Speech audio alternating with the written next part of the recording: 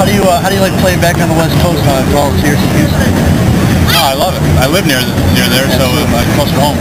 You plan to play in a few more years? Ah, I don't know. I'm thinking one day at a time. Hey, we love you, Houston, buddy. Thank you.